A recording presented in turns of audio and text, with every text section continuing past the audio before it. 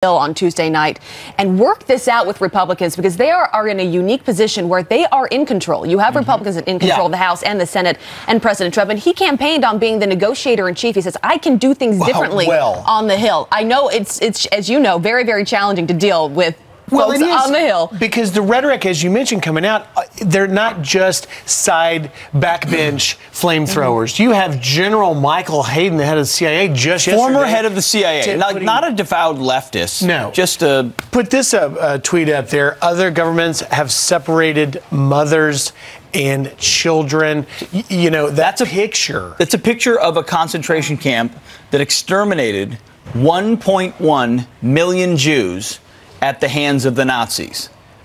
Let, just soak that in for a second. So we're saying because we're enforcing laws on the books, temporarily separating kids from their parents, their parents who broke the law, by the way, by coming here illegally.